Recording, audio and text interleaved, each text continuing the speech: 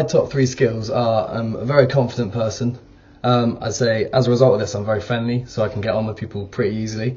And combining these two means that I'm I'm very easy to approach, so I'm very supportive. You know, I know it's really cheesy, but I'm a good listener, which I feel you kind of need for this role. It's very easy for people to come and approach me with topics and issues. The main issue I've found, which I've been approached by peers about, is the issue with parking and transport to Bay Campus because at the moment there's there's no real parking. I've heard that actually today they've cut off the construction site, which a lot of people were parking on originally, and I kind of feel like we've made a campus which is miles away and said you know we'll kind of reduce the, the bus fares, but they've not been reduced by much. It's still quite a big chunk, and the buses aren't as reliable as they should be. So I'm suggesting either we implement much cheaper bus charges, um, or like a specific route where it's like easy and cheap for them to get to it, or some sort of we've got kind of the car sharing page, but an official car sharing scheme, so we keep with the green policy with the union, we can actually have parking on the campus.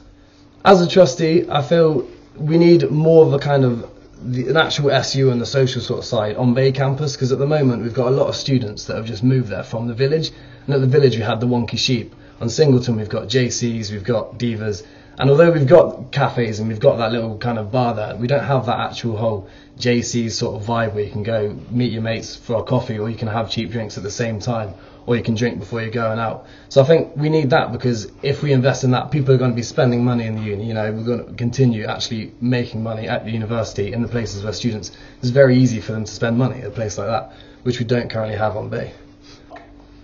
I'd make my mark by obviously being a voice for all and being supportive so anyone can come to me, but also I've got a couple of things that I'd like to implement.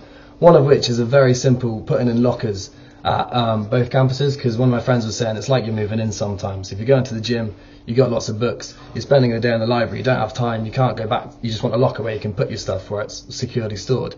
And also, I got approached about sleeping pods and maybe like a chill out zone. And it may sound kind of silly, but it can be quite cheap and simple once you find an area where you can kind of nap in between lectures. Again, if you haven't got time, you've got a lot of work on, but you want to just kind of chill out, you want to nap, you want to rest between lectures, rest if you're doing a lot of work.